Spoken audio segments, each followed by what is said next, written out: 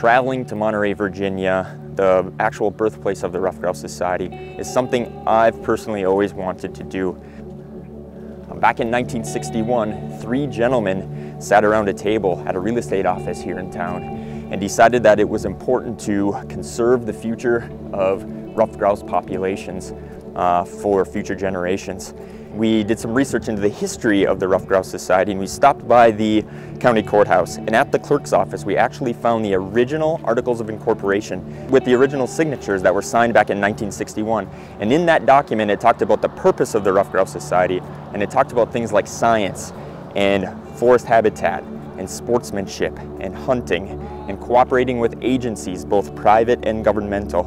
All things that were at the core of the Ruffed Grouse Society back in 1961 are at the core of the Ruffed Grouse Society now and will be in the future as well. We also went to the local newspaper office and dug through archives of original newspapers from the early 60s. And we found an interesting article about RGS being started here in Monterey. In that article, the writer refers to ruffed grouse as the king of upland game birds.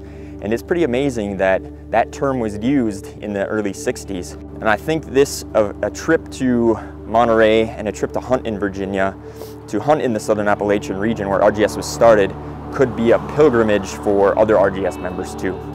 We didn't find enough habitat though, and that's one of the issues that's very, very important here in Virginia and in the Southern Appalachian region, is that we need to create more young forest habitat on public lands and especially on national forests. And that's something that RGS is really, really focused on, um, enhancing and creating healthy forest habitat here in the Southern Appalachian region. Where we found the habitat while hunting, we found birds, and we flushed birds, and we bagged some birds.